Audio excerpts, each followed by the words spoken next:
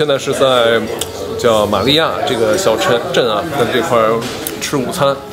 然后那个老板特别逗，我点了一份羊排，然后他说我给你最好的羊排。然后结果他刚才我在这坐着，他带我到那块去看啊，看他们在那块烧烤的时候，他说你看这个羊肉非常非常的新鲜啊。那现在他端上来了，他跟我说这就是我承诺给你的最好的羊排。他说别忘了我跟你说的，这是最好的。我我倒要尝尝它到底有多好。他这么推荐啊，来来来尝一下。嗯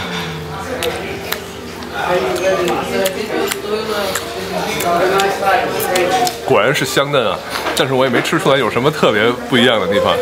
但是对我来讲啊是非常好吃的。我已经，我从昨天晚上就没吃正餐，我吃的是面包。今天早上也吃是面包，直到今天中午这才吃上第二顿肉啊。要从昨天中午到今天中午，这是第二次吃肉，所以只要是肉，只要烤熟了，没变质，对我来讲都是好吃。我现在所在的这个小镇呢，就叫玛利亚。玛利亚这个镇呢，它北边是爱琴海，后边呢是连绵起伏的山峦。实际上呢，这个克里特这个岛啊，它中间大部分地区都是高山，这个岛的南边呢也是高山，直接就扎到水里去。所以呢，南边呢没有太多的平地，所以也就没有形成什么太大的城镇。所以它两个比较大的城镇都在北边。但是呢，你走到这块来，你会发现什么呢？人不多，像一个大农村一样，就是这种。嗯，我刚才在那边小餐馆十一欧元吃了个羊烤羊排，结完账了以后，老板还说你等我一下，他说我给你个甜点，然后还给了我一块小巧克力蛋糕那种，哎，真是人都挺热情的，而且特别愿意跟你开开玩笑。反正我觉得这边的感觉比大城市好。走到这儿呢，会感觉到自然气息，到处都是鸟在叫啊什么的，就很好。你看这边就是一片大农村的景致啊，其实我挺喜欢这种，我觉得。像这种文明发源的这种岛屿啊，你就不要搞到那种太现代化，有山有农田，我觉得就挺好。我就喜欢这种感觉。这块呢有好多租这个摩托车的，你看，有好多租摩托车的呀，啊，或者是租那个小汽车的呀。但这边租呢就比较贵了，咱们自己带车来的这个就非常的方便。然后呢，我呢刚才已经买了圣托里尼的船票，从这儿到圣托里尼啊，就个人。过去四十九欧啊，很贵啊。然后比我从雅典坐船到这儿来还贵。雅典坐船到这儿，人好像也就是含一晚上住宿，好像也就是三十八欧。他这个好，单人过去 也不带车就得四十九，而且回来更贵。要是从圣托里尼回到这边来，得五十七欧啊！我天哪！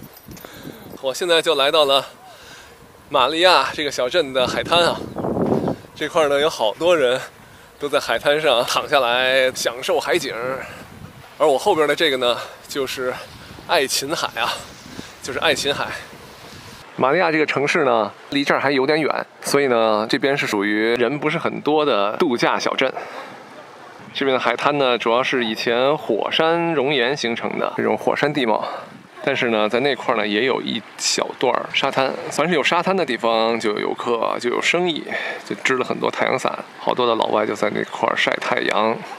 我说他这边怎么坐在海边晒太阳的人比较多，下水的人比较少？我拿这手一摸这海水啊，你知道吗？挺凉的，倍儿凉。现在这个季节可能下海还早了一点儿，现在才五月份嘛。五月份可能这个水温还是太低了一些。你看这块没有？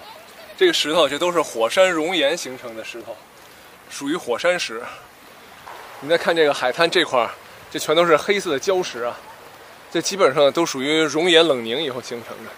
所以这个岛是一个火山岛，没错了。而那边的这个沙滩我不知道是怎么来的，有可能是。有可能是火山岩风化形成的，或者是干脆是人工给它往这块运沙子给填出来的。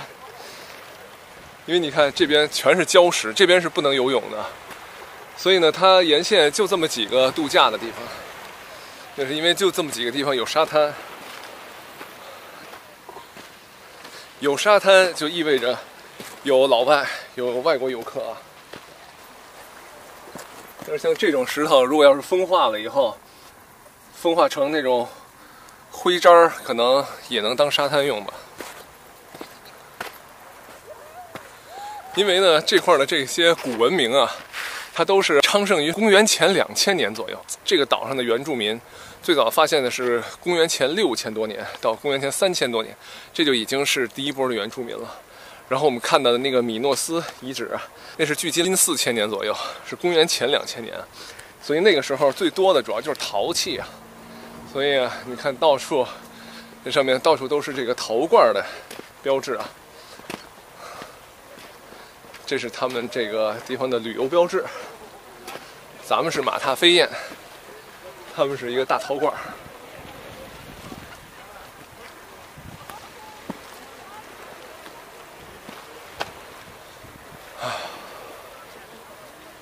其实呢，我呢刚才在这边看着这海滩边上的一家老小在这块晒太阳。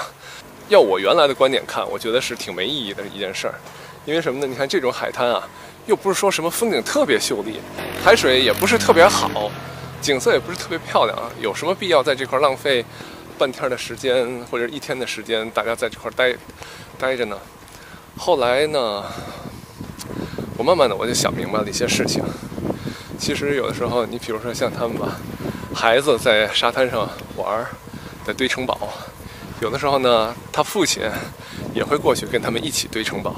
他的爷爷、奶奶坐在沙滩上面聊着天儿，很悠闲的。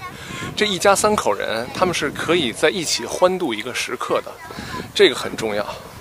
因为你想，三代人他们也没有什么太多共同语言，就是你从你说聊一个什么事件。聊一个什么话题，可能聊不到一起去。但是呢，通过这么一个简单的活动，三家三三代人，他是可以同时处在一个很温馨的这么一个气氛中的。我觉得这个特别特别重要。我觉得有的时候，什么事情是有意义的，什么事情是没意义的，这个不太好说。有些东西看上去很有意义的事儿，其实没什么太大意义。就像我以前我们工作，对吧？呃，有时候一些会议，你好家伙，你恨不得在外边出差呢，然后接到会议通知，哎呦，又坐飞机又赶过去，又怎么着的，看上去好像你很重要，没了你不行。但其实你仔细想，离了谁都行。有些事情其实没有那么重要，只是你感觉被那个气氛推着，好像你很重要。但真正的很很重要的事儿呢，就比如说在沙滩上，一家人在一起晒晒太阳，聊聊天儿。我觉得这个很重要，因为有的时候幸福是一种感觉，它是一种化合作用。你单纯看海，可能不会觉觉得很幸福，但是当你躺在这儿，看着天上白云飘，鼻子里闻着海水的味道，然后呢，耳边听着父母的唠里唠叨，然后呢，这边呢是你的孩子在这块挖坑的欢笑声，可能这些元素糅合在一起，哇，让你感觉到放松。踏实，让你多年以后，当你怀疑人生的时候，当你觉得我的人生已经濒临崩溃，已经支撑不下去的时候，啊，你突然想起那一刻，你想到那种感觉，那个海风，仿佛你又闻到了咸咸的海风味儿，那一刻，你又重新燃起了对生活的美好的感觉。那你说，这一刻你躺在这儿晒太阳，它有没有意义？太有意义了。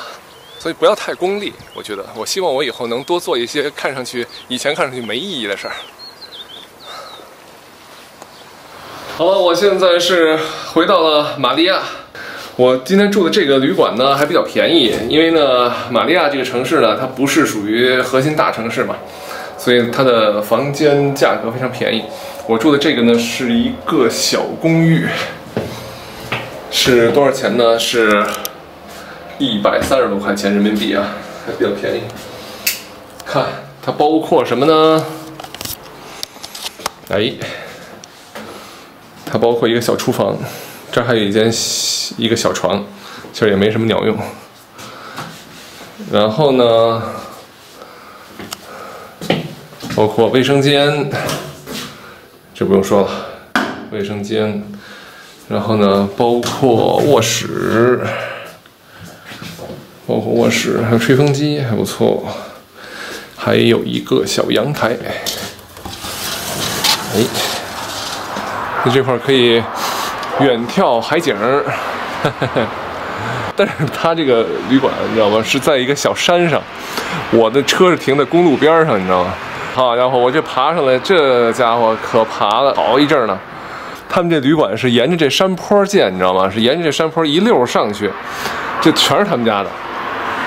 然后呢，从第一层一直我这爬到第几层了，我都不知道。我现在得下去把那车里的东西拿上来。关键它要这么这么高，我还不能全拿，还只能挑几样拿。